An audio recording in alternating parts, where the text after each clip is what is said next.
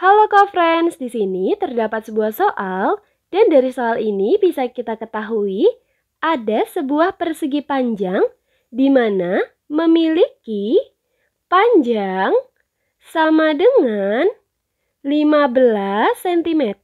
Kemudian memiliki lebar sama dengan 6 cm. Jika luas persegi panjang 120 cm persegi. Nah, maka lebarnya di sini diketahui luas 120 cm persegi. Ditanyakan benar atau salah friends? Lebarnya 6 cm. Jadi di sini kita cari lebar. Kofrens bisa menjawabnya dengan sangat mudah. Kita gunakan rumus luas persegi panjang.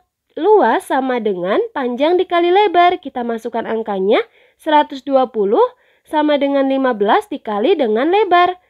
Maka kedua ruas kita bagi dengan 15, jadi 120 dibagi 15 sama dengan 15 dikali lebar dibagi dengan 15. Kita hitung sama-sama ya kok friends, 120 dibagi dengan 15 hasilnya adalah 8.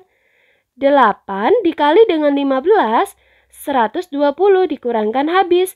Jadi di sini bisa kita tuliskan 8 sama dengan 15 dibagi 15 1, 15 dibagi 15 1 menyisakan lebar, jadi lebarnya 8 cm. Ternyata salah ya kok friends karena lebarnya 8 cm dan di sini lebar 6 cm. Jadi tanda silang. Kok friends hebat sudah menemukan jawabannya, tetap semangat belajar ya.